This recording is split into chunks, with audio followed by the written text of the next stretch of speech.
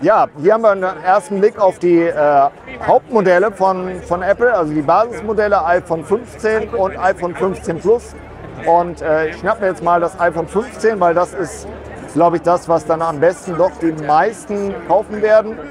Äh, wie gehabt, 6,1 äh, Zoll in der Diagonale. Und hier haben wir auch schon die erste ganz große Neuerung. Ja, ich weiß nicht, ob sich alle daran erinnern. Äh, die Notch ist weg. Es ist auch hier ein Dynam Dynamic Island, ähm, wo halt äh, die, die Frontkamera und Benachrichtigungen äh, so integriert sind. Äh, ja, inzwischen unterstützen das ja viele Apps. Und wer ganz genau hinschaut, das ist hier bei der schwarzen Version nicht ganz einfach, aber der Rand ist ein bisschen äh, ähm, runder. Also wenn ich jetzt hier so rüber streiche, dann fühlt sich nicht mehr so scharfkantig an.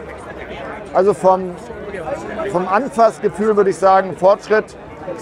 Ob man das jetzt ästhetisch besser findet äh, als vorher mit dieser geraden Kante, ist wirklich Geschmackssache.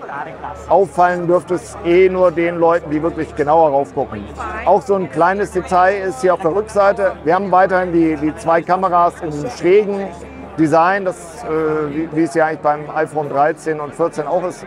Aber hier diese, äh, dieser Kamerablock, sage ich mal so, diese Erhebung, da ist die Färbung jetzt äh, im Glas integriert.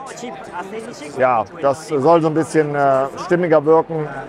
Und äh, ja, neben der Dynamic Island natürlich für Apple-Nutzer die größte Revolution ja, erstmals seit 2012, genau, 2012 gab es die Lightning-Buchse, hat jetzt elf Jahre gehalten. Also äh, Apple hat das Versprechen, dass das die Lightning-Buchse eine Buchse für ein Jahrzehnt sein sollte, äh, gehalten. Aber jetzt äh, EU sei Dank, denke ich, äh, ist hier die USB-C-Buchse auch in beiden iPhone-Modellen drin und im Prinzip jetzt in allen Apple-Geräten, iPads, MacBooks. Es gibt auch neue AirPods äh, Cases und äh, aktualisiertes AirPod, AirPods 2 Pro äh, mit USB-C Ladegehäuse. Ähm, ja, das ermöglicht natürlich eine ganze Menge Kompatibilität mit Zubehör. Äh, das ist eine große Sache. Auch eine Sache, die äh, jetzt weggefallen ist.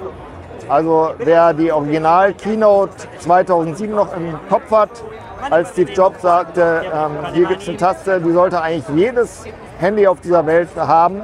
Dieses, diese Stummschalttaste, äh, das war einfach nur ein Schalter, ein, aus, also stumm schalten ein und stumm schalten aus, Klingeltöne aus oder an. Äh, das ist jetzt weggefallen, das ist eine Action-Taste. Wenn man kurz drückt, ich mache es jetzt mal. Ups. Ja. Wenn man kurz drückt, dann äh, soll das auch weiter Stummschaltung ermöglichen. Ich glaube, ich bin jetzt hier ein bisschen zu, zu hektisch. Ähm, aber man kann in den Einstellungen auch äh, einstellen, dass alle möglichen anderen Sachen äh, damit äh, gesteuert werden. Ja. Ähm, ja, was ist noch neu? Äh, Im Inneren gibt es auch einen, keinen neuen Prozessor, aber für die Basisvariante ist das ein neuer Prozessor, nämlich der A16 Bionic aus, dem 14, aus der 14 Pro Serie. Der hält jetzt Einzug im iPhone 15. Das ist natürlich ein ganz ordentliches Upgrade.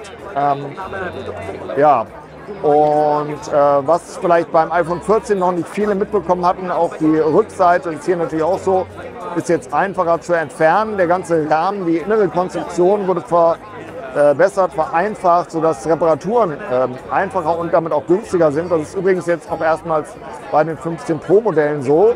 Das ist natürlich schon eine gute Nachricht. Ähm, wenn das Display vorne nicht kaputt geht, sondern innen irgendwas oder die Rückseite, ist ein Austausch leichter. Und äh, ich denke auch mal bei Akkutäuschen und so durch zertifizierte Werkstätten wird es leichter sein.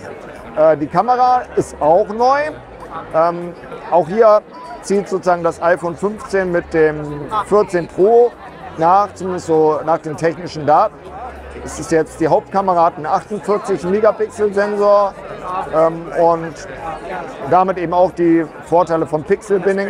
Und es gibt beim Zoomen, ich weiß nicht, ob wir das jetzt hier mal äh, zeigen können, wenn ich jetzt in die Kamera-App äh, gehe, Ja, hier gibt es die Einfach- und Zweifach-Zoom.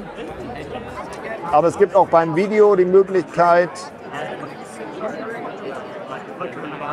ähm, hier in den Sensor rein zu zoomen und äh, jetzt 4K-Videos sozusagen mit optischer, ähm, mit optischer Vergrößerung herzustellen, indem man halt nicht, nicht künstlich Pixel dazu rechnet, sondern in den, Zoomer, in den Sensor reinzoomt.